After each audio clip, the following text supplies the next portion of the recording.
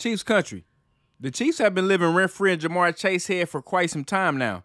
This video of him aged very well as Ja'Marr Chase continues to eat his words.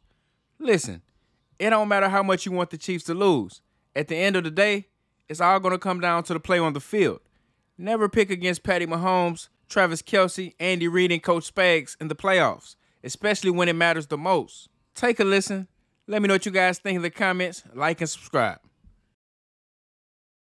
You guys think are going to go to the Super Bowl? Ja'Marr, you go first. Who's going to the Super Bowl? An AFC, NFC team? Uh, anybody but the Chiefs. Did I stutter?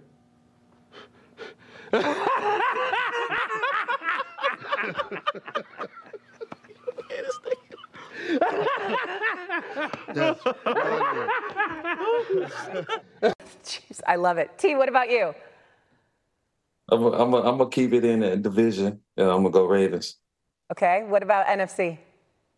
Uh, either uh, I got Cowboys or 49ers. Cowboys or Niners? I love it. Uh, Ja'Marr Chase. Everybody want that to see. What'd you say, Ja'Marr? Everybody want to see that one.